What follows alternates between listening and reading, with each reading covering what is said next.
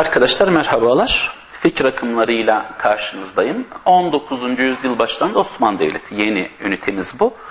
Ee, şimdi şunu bir hatırlayın. 2. Abdülhamit e, 1909'da 31 Mart isyanı sonunda tahttan indirildi. İlk önce Balkanlara sürgüne gönderildi. Daha sonra İstanbul'a getirildi. Balkan savaşları çıktı. Balkan savaşlarının çıkması üzerine çok hüzünlendi ve ordunun siyasete bulaşmasını çok eleştirdi. Sonra da hayatını kaybetti. Allah rahmet eylesin. Şimdi 2. Abdülhamit tahta çıktığında, 1876 tahta çıktığında Osmanlı'da e, çeşitli baskılar oldu. Mesela Ali Suavi'nin gerçekleştirmiş olduğu Çırağan baskını vardır. Çırağan baskını e, 2. Abdülhamit'i tahttan indirip yerine Abdülaziz'i geri getirme girişimidir. Sonra Abdülaziz böyle e, bileği kesilmiş olarak e, bulundu, hayatını kaybetti. Bazıları diyor ki işte intihar etti. Bazıları diyor ki suikaste uğradı. Nedir ne değildir o gerçek henüz belli değil. Şimdi biz kaldığımız yerden konumuza devam edelim. Fikir akımlarına bakalım. Şimdi arkadaşlar bizde beş tane fikir akım var. Ben buraya dört tanesini yazdım. Sonuncusunu oraya yazacağım. Ademi merkeziyet diye ama ademi merkeziyet pek gündeme getirilmez ama biz yine dişleyeceğiz. Nedir bu fikir akımları? Osmancılık, İslamcılık, Türkçülük ve Batıcılık. Bu fikir akımlarından ilk üç tanesine sıra kullanıyorsunuz. Osmanlı'da ilk ortaya çıkan fikir akımı, ideoloji, fikir akımı. Osmancılık, önemini kaybetmeye doğru İslamcılık, önemini kaybetmeye doğru Türkçülük ortaya çıkmıştır. O zaman bu üç fikir akımında sıra, kronolojik sıra kullanıyoruz. Osmanlıcılık, İslamcılık ve Türkçülük. Daha sonra da batıcılık ama batıcılık zaten anlayış olarak Lale devriyle itibar, Lale devrinden beri var ama bir fikir akımı olarak çıkması daha da sonraya denk gelir. Ama ilk üçünde mutlaka sıra kullanırız dikkat edin. Şimdi ilkinden başlıyorum. Osmanlıcılık diğer bir ifadeyle ittihadı anasır. Gençler ittihat birlik, ittihat tevhid birlik, anasır unsur. Biliyorsunuz Osmanlı çok uluslu, farklı unsurlardan meydana geliyor. Bu fikir akımını savunanlar farklı unsurların bir araya gelmesini devletin kurtuluş olarak görmüşler. O yüzden de bu fikir akımına yani Osmanlıcılığa ittihadı anasırda denilir. Şimdi bu fikir akımının ruhu ne? Ruhu Osmanlı vatandaş olmak. Osmanlı'da ne diyoruz? Reaya, reaya yönetilen. Bir de yöneten var ilmiye, seyfiye, kalemiye, özellikle seyfiye güçlü. Bu fikir akımını savunanlar o farklılıkların kaldırılmasını, halkın yönetime katılmasını, reaya içerisindeki farklılığın ortadan kaldırılmasını, yani Müslim gayrimüslim farklılığın ortadan kaldırılmasını, herkesin Osmanlı vatandaşı olması gerektiğini savunuyor. Doğru bir mantıktır, demokrasidir, hukuk üstünlüğüdür, eşitliktir, adalettir. İttihadı anasırdır, mantık budur. O zaman biz Osmanlı Devleti'ndeki reayayı vatandaş teba yaparsak ve onların hepsine aynı haklar verirsek, onların hepsine insan haklar verirsek bu neyi sağlar? Bir, birlikteliği sağlar. İki, azınlık isyanlarını engeller. Üç, Avrupalı devletlerin bize baskısını engeller. Dört, Avrupalı devletlerin azınlık haklarını bahane ederek bizim içlerimize karışmasını engeller. Felsefe bu. Osmanlı vatandaşlığı. Ne olacak o zaman? Herkese aynı haklar verilecek. Osmanlı tarihi, Osmanlı'nın kullandığı dil, birle, dil ve tarih birleştiricidir. Ön plana çıkarılacak. Yani medreselerde İslam tarihi okutulurken Osmanlı tarihi de okutulmaya başlanacak. Buna dair dergiler, gazeteler çıkarılacak. Birlik ve bütünlüğü sağlayacak ıslahatlar yapılıp fermanlar çıkarılacak. Ve halk yönetime katılacak. Şimdi İkinci Mahmud'u hatırlayın. İkinci Mahmud ne dedi? Ben Müslümanlığı camide, Hristiyanlığı kilisede, Yahudiliği havrada görmek isterim. Yani toplumda din ayrımı görmek istemem dedi. İşte bu sözün ruhunda Osmanlıcılık vardır. Tanzimat fermanıyla ne oldu? Azınlıklarla Müslümanların hakları hemen hemen eşitlendi. Hukuk üstünlüğü anlayışı ortaya çıktı. Islahat fermanıyla ne oldu? Azınlıklara ve Müslümanlara daha çok haklar verildi. Eşitlik ortaya çıktı. Hukuk üstünlüğü anlayışı gelişti. Peki kanun esasiyeyle ne oldu? Halk yönetime ortak oldu ve anayasal düzen başladı. İşte bunların hepsinde Osmanlıcılık anlayışı vardır. O zaman Osmanlıcılıkta herhangi bir unsurun elden çıkmasını engelleme mantığı vardır. Peki hocam ne olmalı bu akım önemini yitirmeli? O unsurlar bizden ayrılırsa. Bu ister Müslüm olsun ister gayrimüslim olsun. Yani Sırbistan'ın elden çıkması, Trablusgarb'ın elden çıkması bunlar Osmanlıcılığa zarar veren şeyler olur. Buralar elden çıkmamalı. Birlikte olmalıyız. Ruh anladınız değil mi? İsyanlar engellenmeli. Osmanlı devleti ve Osmanlıcılık ruhu bir arada yaşamalı. Mantık bu. Peki bunu böyle sorabilirler. Ruhundan soru gelir. İki, savunucularından soru gelir. Unutmuyorsunuz. Arkadaşlar bunun savunucusu Şinasi, Ziya Paşa, Ali Suavi, Namık Kemal, Mithat Paşa, Mustafa Fazıl Paşa. Bunlar yani aslında bunlar genç Osmanlılar, yeni Osmanlılar, Avrupa'nın Jön Türkler dediği insanlar. Bunlar savundu. Peki nedir temel vurucu cümle? Birlik, bütünlük, farklı unsurları, farklı unsurları bir arada tutma, reaya olma anlayışından vatandaş olma anlayışına geçme. Anlayışına geçme. Ruh bu. Peki bu doğrultuda ne oldu? 1839 Tanzimat Fermanı 1856 Islahat Fermanı 1876 Kanuni Esası yani diğer bir ifadeyle birinci meşrutiyet. Birinci meşrutiyet ilan edildi. Meşrutiyet ilan edildi. Peki ne olmalı da önemini yitirmeli?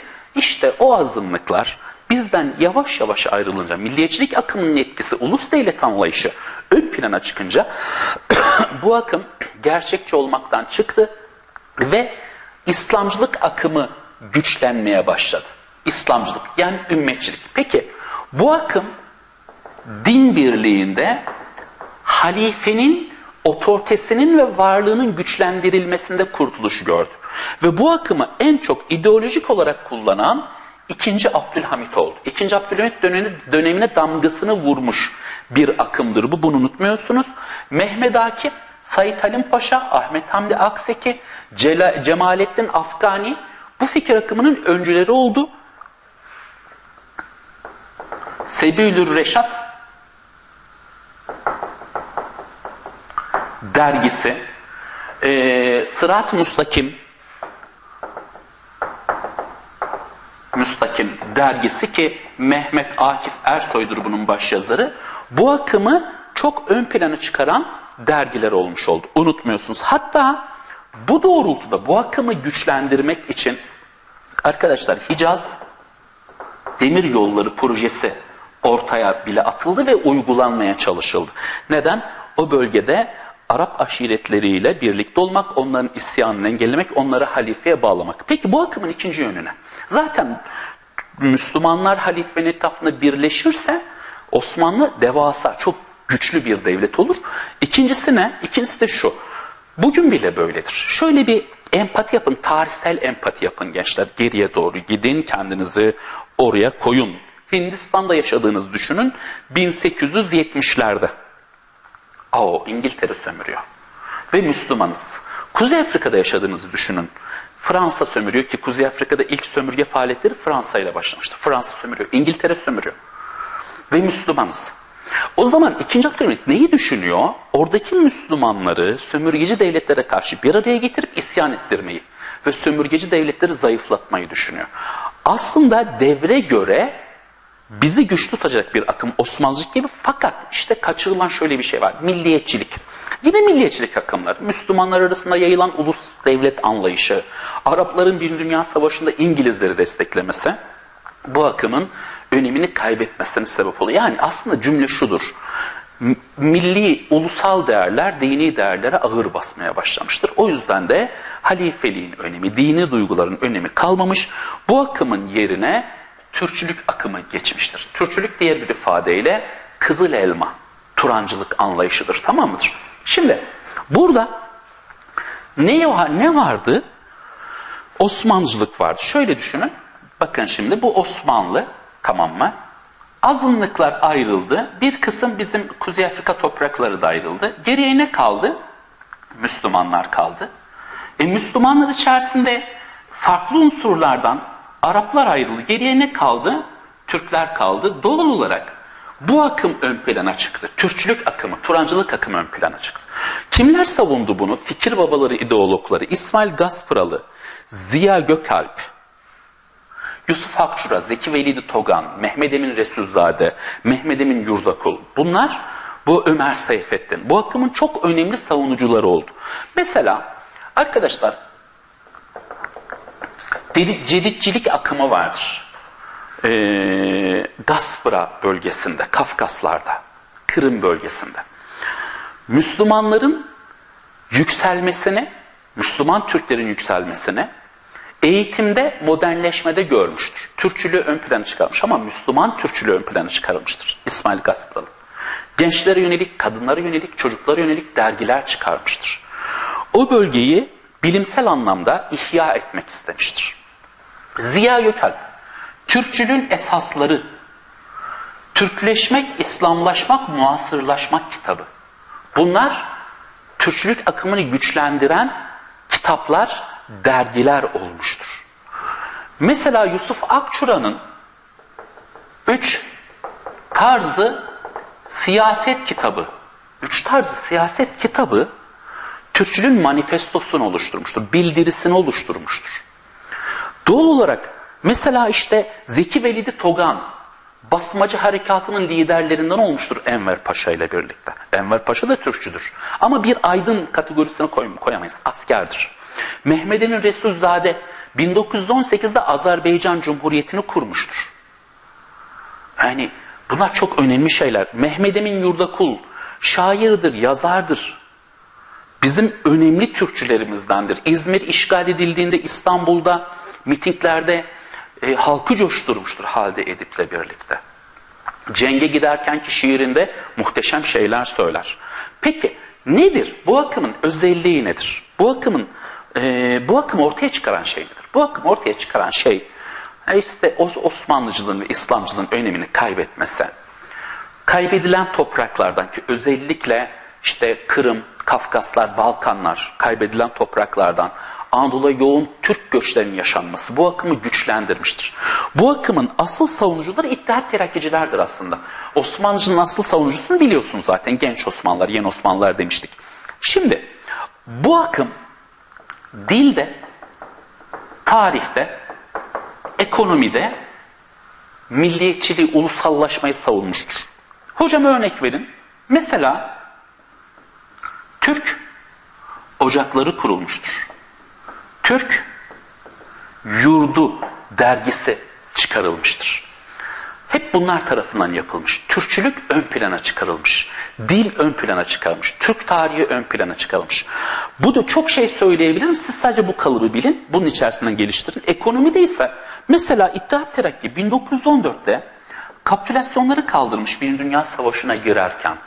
Bu bir milliyetçiliktir.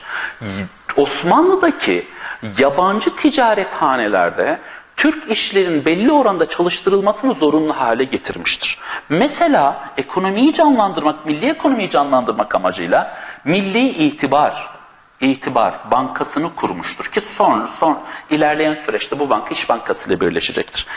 Hatta bu dönemde Latin alfabesinin kullanımı bile ön plana çıkmıştır gençler. Yani aslında teşvik sanayi kanunu ön plana çıkmıştır. Aslında Atatürk'ün inkılaplarının e, ilham kaynağı bu dönemde yapılanlardır. Ki bu ilke, bu ideoloji yerini Atatürk ilkelerinden milliyetçiliğe bırakacaktır. Fakat burada Türkçülük boyutu biraz hayalperestliktir.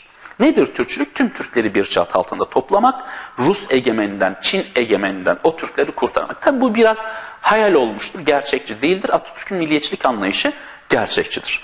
Şimdi batıcılığa gelince, gençler batıcılık e, e, batılılaşma yani. Atatürk ilkelerinden yerini inkılapçılığa bırakacak ama inkılapçılık Atatürk'ün inkılapçılık anlayışı şudur. E, e, batının bilimsel teknik gelişmesini almak ama kendi öz değerlerimizi korumak. Hocam ne demek istiyorsunuz? Şunu demek istiyorum. Çok güzel bir örnek vereyim size. Mesela biz Avrupa'dan Latin alfabesini aldık değil mi? Arap alfabesi. Arap alfabesi bizim alfabemiz değildi. Latin alfabesi de bizim alfabemiz değildi. Ama Latin alfabesi Türk dil kuralına uygun bir alfabedir. Arap alfabesi değildir. Türk dilini geliştirmek, okuma yazmayı artırmak amacıyla Latin alfabesini aldık. Ama Latin alfabesinde bizim dilimize uymayan harfleri almadık. Ve Latin alfabesinde olmayıp da bizim dilimizde olan kelimeleri o alfabe ekledik. Ç gibi, yumuşak G gibi, Ü gibi mesela, Ö gibi. Onlarda W var değil mi? Q var. Onları almadık. Yani biz batıdan alacağız ama kendimize benzeteceğiz. Ama mümkün olan e, kadarıyla bu işi kendimiz halledeceğiz. Yani diyor ki Atatürk her türlü ilmi, fenni, tekniği batıdan almayı bilmeliyiz. Batıdan almalıyız ama asıl önemli olan, asıl ihtiyacımız olan şeyi kendi içimizden çıkarmalıyızlar. Bunun adı milliyetçiliktir bak. Hem inkılapçılık hem milliyetçiliktir. Burada farklı. Burada batılılaşma savunuluyor. Batıcılık savunuluyor. Batıya benzeme savunuluyor. Ama işte iki kavram var. Zorlanıyorum anlatmakta. Çok şey söyleyeceğim ama bakın şimdi. Kültür ve medeniyet. Kültür dediğiniz şey bir millete has olandır. Medeniyet dediğiniz şey, hadarat dediğiniz şey insanlığın ortak malıdır. Buradaki arkadaşlar kültürle medeniyeti karıştırdılar. Yani şunu söylediler. Dediler ki işte Celal Nur Tevfikret pek içine girmez ama Abdullah Cevdet bunu söyledi.